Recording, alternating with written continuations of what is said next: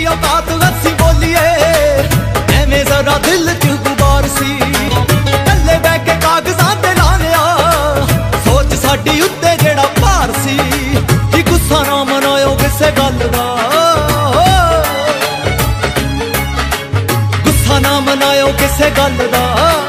ਛੋਟਿਆਂ ਦੀ ਛੋਟੀ ਹੁੰਦੀ ਮੱਤ ਦੀ। ਬਾਕੀ ਤੁਸੀਂ ਮੇਰੇ ਤੋਂ ਸਿਆਣੇ